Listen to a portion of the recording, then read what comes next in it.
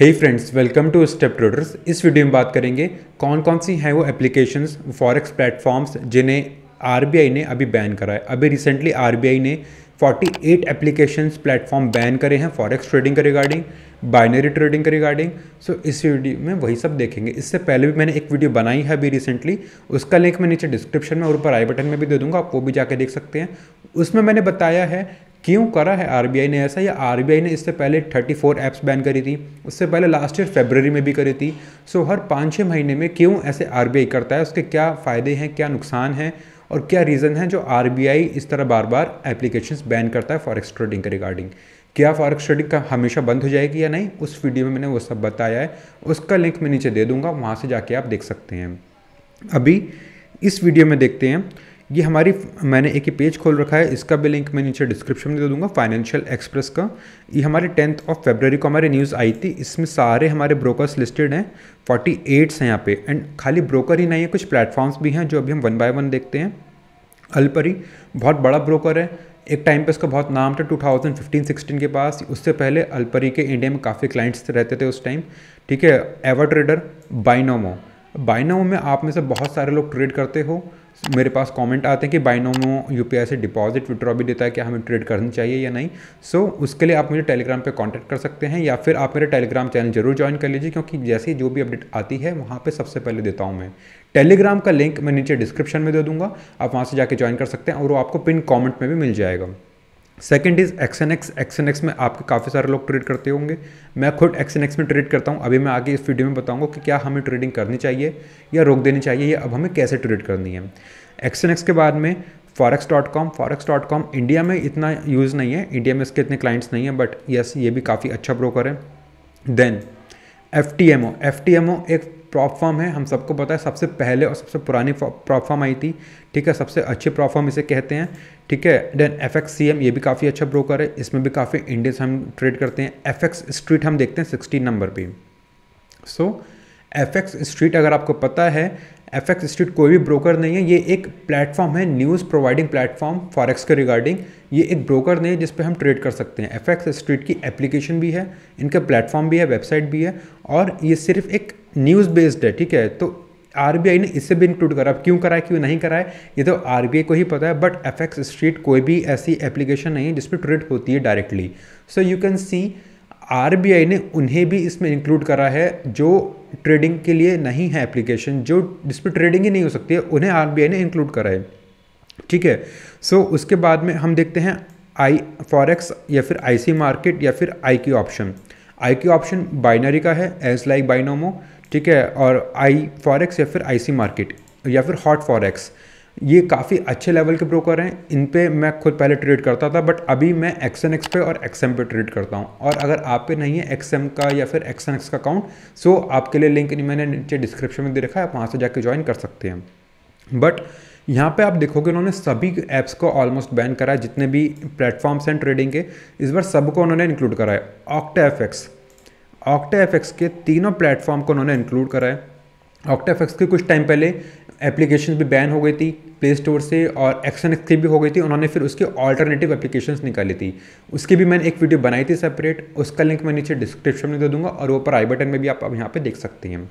ठीक है ऑक्टाफेक्स का आप देखोगे, पहले सबसे पहले ये था ऑक्टाफेक्स डॉट कॉम फिर आया ऑक्टाफेक्स डॉट नेट अब इसका है सब domain high dot Octafx so so, इस बार आरबीआई ने सभी को इंक्लूड करा है। उन्होंने किसी को भी नहीं छोड़ा है। हमने ऊपर देखा न्यूज़ को भी न्यूज़ प्लेटफॉर्म को भी। यहाँ पे एंड लास्ट में देखेंगे हम M T four and M T five it just a third party platform इस पर हम ट्रेड करते हैं। हम अपने पैसा डिपॉजिट कभी भी एम टी फोर या एम टी फाइव में करते ही नहीं हैं। ये सिर्फ़ एक ट्रेडिंग प्लेटफॉर्म है जिस पर हम अपने ट्रेड्स एग्जीक्यूट करते हैं। ठीक है? इस बार आप सारे नाम यहाँ पे देख सकते हो। टिकमिल भी कोटेक्स भी एक्स टी बी भी एक्स एम बी ऑलम ट्रेड भी T D Ameritrade T D Ameritrade इतना बड़ा लेवल का ब्रोकर है यूएस में सबसे ज़्यादा ट्रेड्स आई गेस इसी पे ही होती होंगी।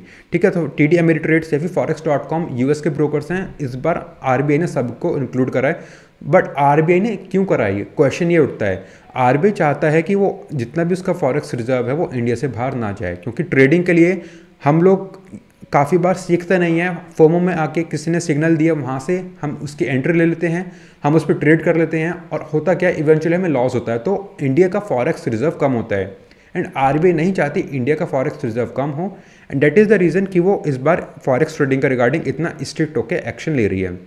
बट अगर आपको अभी भी ट्रेड करना है फॉरेक्स में then you can continue to do that but आप किसी के थ्रू करिए आप डायरेक्टली मत करिए जैसे आप सपोज़ करो ऑक्टाफेक्स पे एक्स एन एक्स पे या फिर एक्सएम पे या किसी भी ब्रोकर पे अगर आप करते हो तो आप अभी क्या करते हो आपने डायरेक्ट वहाँ पे अकाउंट ओपन करा ठीक है आपको जो जो भी इशू आया आपने उनकी चैट पे उनसे कॉल पे बात करी। कॉल का तो ऑप्शन कोई नहीं देता है कॉल का ऑप्शन मेरे क्लाइंट्स के पास है बस जो एक्सएम में ट्रेड करते हैं जो अभी हम वीडियो में आगे बात करेंगे।